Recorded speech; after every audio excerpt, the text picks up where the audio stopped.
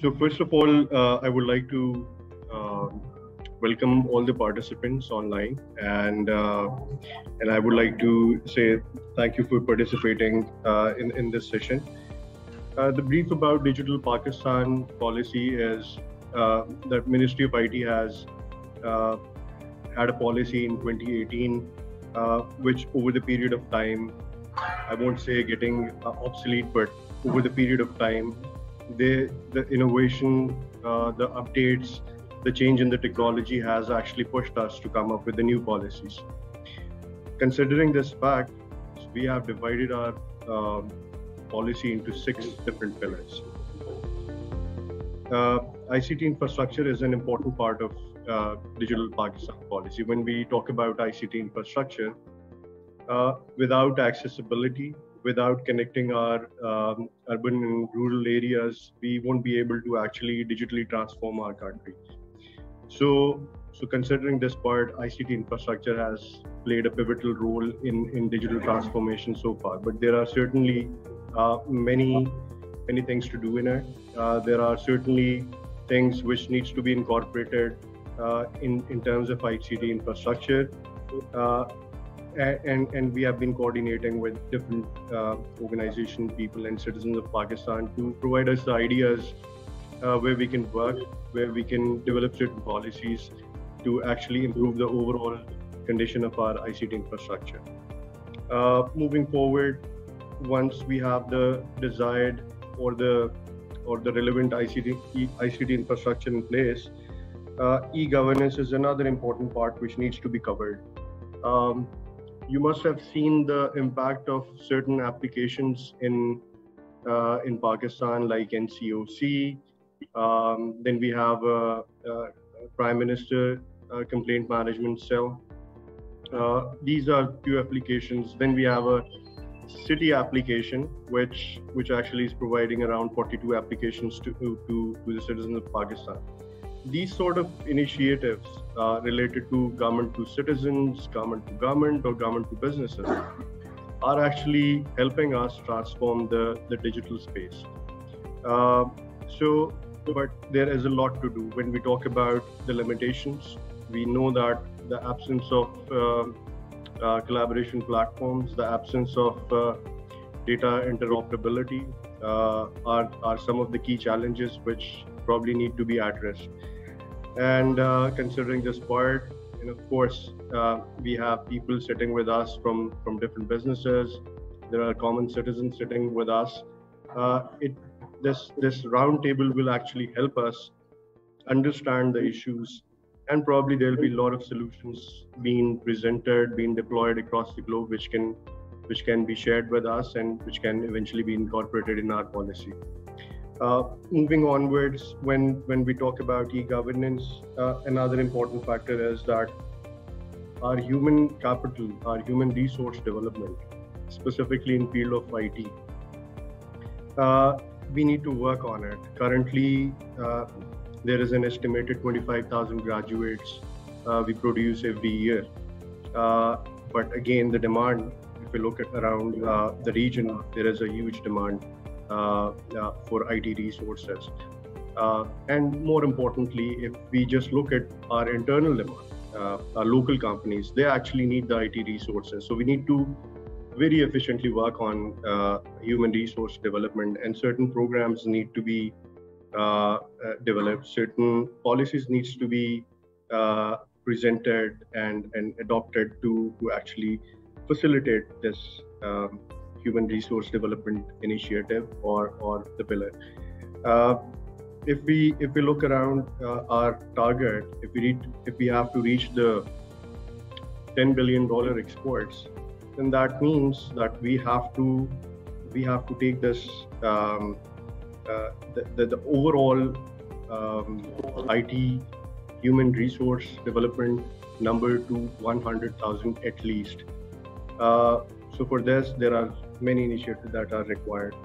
Uh, so once we have a relevant uh, IT human resource, and we we we have a a very good idea that our IT resources are excellent resources, but there is a minimal amount of uh, training probably required. uh, uh, technical training uh, to actually make them enable for the for the companies which can actually be exported. Um, so once we have the relevant IT resources available, uh, these resources not only can can be employed by certain companies, but they can actually uh, go and uh, do the entrepreneurial work as well. So government is focusing a lot on innovation and uh, entrepreneurship. Uh, for the said purpose, there has been many programs regarding freelancing has been initiated. Uh, an innovation ecosystem has already been developed, but but there are certainly many gaps. There are many policies required to actually facilitate uh, our our uh, startup ecosystem. Uh, more importantly, if you ask us, there is a there is a need to come up with a policy that how to engage the investors with the startups. Uh, and similarly, uh, Ministry of IT with its department and with the provincial IT boards is actually working on multiple projects across Pakistan to to uh, educate people, to give them skills, uh, and and actually help them become entrepreneurs. Uh, DigiSkills is one of the program which has been uh, which has been started by uh, one of our department, Ignite. And uh, it has been successfully being executed by Ignite, and around 1.7 million people are trained. And, and Pakistan has come to, you know, uh, in, in ranking of freelancing, Pakistan is number two. Uh, so, so this, these are the few steps which government has taken, but we know that world has gone far. Uh, world has actually so, so, so if we want to catch world, we need to come up with more proactive policies, more programs, and and with with a clear direction and clear timelines that we need to achieve. Step one, two, three in in these timelines, and this is what we're looking forward when when we'll be having a detailed discussion with you people. Uh, fintech, e-commerce, and digital platform is another important pillar. Knowing this thing that digital currencies uh, the currency is actually changing from the from the plastic money to, to, to the digital side and there is a lot of lot number of people who are still outside this this ambit to bring them on board especially knowing this thing that our accessibility is actually uh, getting bigger uh, so, so fintech is going to have a great impact uh, and it has a future uh, i'm not saying regulating them but actually supporting the fintech industry uh, e-commerce. Uh, you're already aware of that, of the fact that e-commerce policy has already been drafted, and many achievements have already been made through that policy.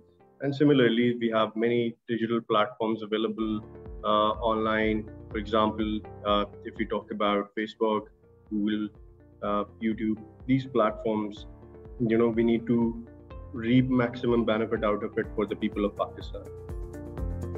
And lastly, uh, but not the least, IT exports, IT ITS exports and development.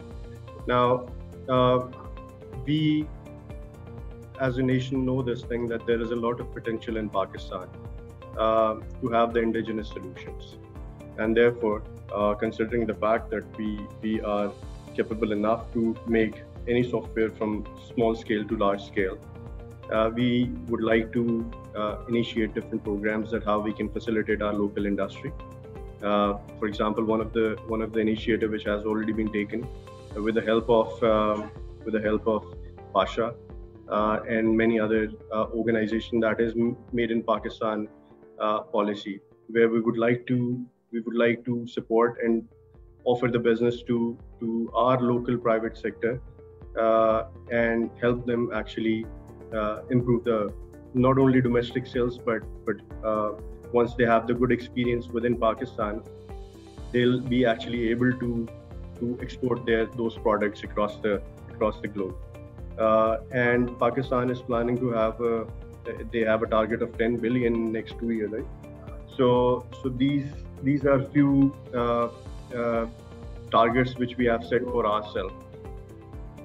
Knowing the fact that Ministry of IT cannot do uh, this thing alone. So Pasha has extended its support industry players have already been extending their support, and most importantly, uh, people from from different uh, provinces they have been extended support. We had sessions in Lahore and Karachi. They've been very successful sessions. People have uh, participated. They have uh, identified many problems and given many solutions, which will definitely be incorporated in, in the final policy draft.